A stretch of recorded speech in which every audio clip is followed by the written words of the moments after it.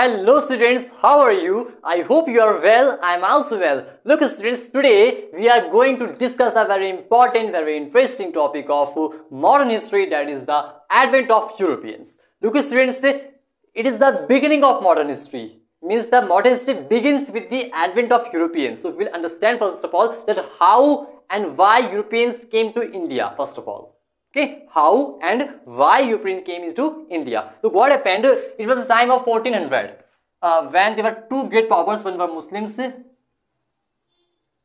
the second were Christians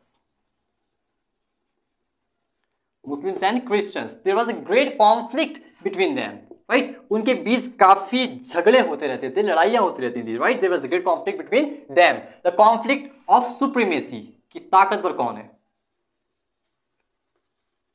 conflict of supremacy. And at the same time there were three uh, well developed cities which were london constantinople and florence. Right london constantinople. Constantinople is now known as istanbul remember? It is now known as istanbul and Florence which is now known as Italy. Fair? So London, Constantinople and Florence were great developed cities at that time. It was the time of 1400. Right? So in 1453, what happened in 1453? Constantinople was captured. Constantinople. Remember the spelling, okay? It's a long word. Constantinople was was captured by उस्मानिया सल्तनत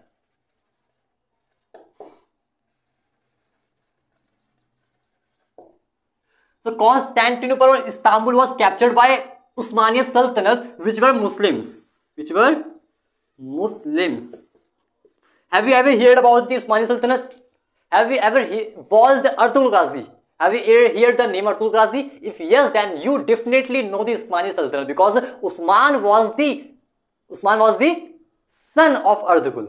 Usman was the son of Ardugul and he established the Usmania Sultanate or Usmania Empire. Right? So there was great conflict between Muslims and Christians at that time. The conflict of supremacy and at the same time there were three great well-developed cities London, Constantinople or Istanbul and Florence or Italy and at that time Constantinople was the only single route to travel from Europe to India right Constantinople was the only single route to travel from Europe to India.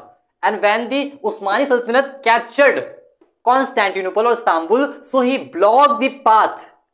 He blocked the path of Byzantine and Christian. Byzantine were also uh, an empire of Christians, right? So Usmani Sultanate blocked the path for the Europeans to travel through the Constantinople. And at that time, uh, there was a great tension for Europeans because Europeans wanted to come to India for spices and raw materials.